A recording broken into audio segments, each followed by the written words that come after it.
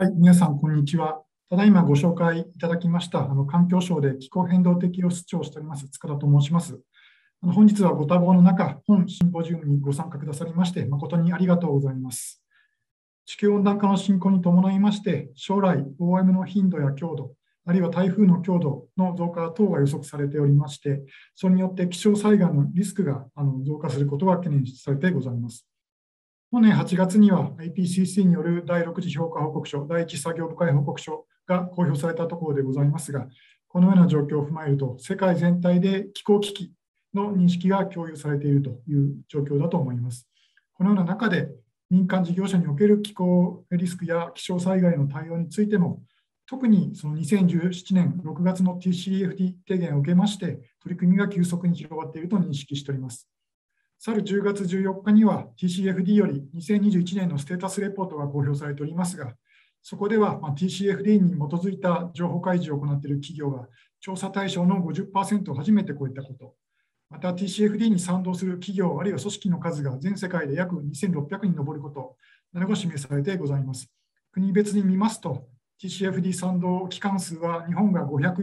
ということでトップになりまして、日本企業の関心の高さが改めて示されたというふうに言えるかと思います。また、2018年12月に施行された気候変動適用法によりまして、企業における適用に関する取り組みが広がっているという側面もあると承知しております。この法律に基づく政府の気候変動適用計画につきまして、環境省が昨年12月に公表した気候変動影響評価報告書にて示された最新の科学的知見を踏まえつつ、改定作業を行ってきたところでございますが、本日、先ほど新しい計画が閣議決定されたことを皆様にご報告ご報告できることを嬉しく思っております。これは地球温暖化対策計画、政府実行計画、パリ協定に基づく成長戦略としての長期戦略などと合わせて閣議決定されたものでございますが、今月末からイギリスで開催される COP26 を間近に控える中で、政府として緩和策と適用策を気候変動対策の車の両輪として強力に推進していくための計画が同時に閣議決定された本日は、環境行政にとって歴史的な一日になったというふうに考えております。後ほど環境省の担当者より新しい計画の内容についてご紹介させていただきますが、企業の適用の取り組みの促進というものも計画の一つな大きな柱となっております。環境省ではその一環として、事業者による活動を支援する観点から、民間事業者の気候変動適用ガイドを策定するなどの取り組みを進めております。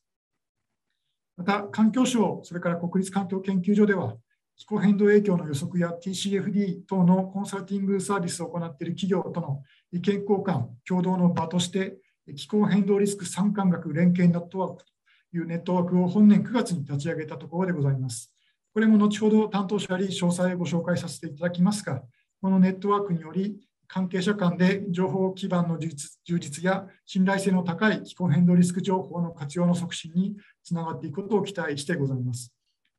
本日のシンポジウムはご案内の通り TCFD における物理的リスクをテーマに利用可能な科学的知見や関係府省庁における取り組み動向、あるいは民間事業者による TCFD への取り組み事例の紹介等を行うこととしております。本日の場を通じて民間事業者における適用の取り組みの促進につながることを期待しております。限られた時間になりますが、本日はどうぞよろしくお願いいたします。